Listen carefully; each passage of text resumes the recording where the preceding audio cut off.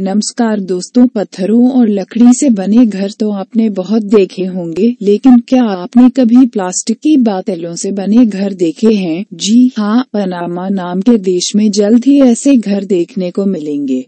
दरअसल यहाँ एक ऐसे गाँव का निर्माण हो रहा है, जिसमें सभी घर प्लास्टिक की बोतलों से बनाए जाएँगे। प्लास्टिक की बोतलें पर्यावरण के लिए नुकसानदेह होती है।